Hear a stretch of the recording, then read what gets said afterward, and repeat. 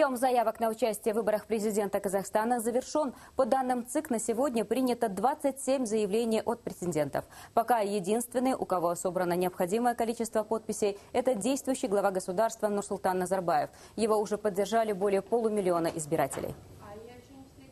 На основании протоколов областных городов Астана, Алмата избирательных комиссий о результатах проверки подписей избирателей в поддержку кандидатов в президенты Республики Казахстан Нурсултана Абишевича Назарбаева и на основании всех других требований Конституции и закона о выборах э, установлено, э, что э, принято решение о регистрации кандидатов в президенты Нурсултана Абишевича Назарбаева.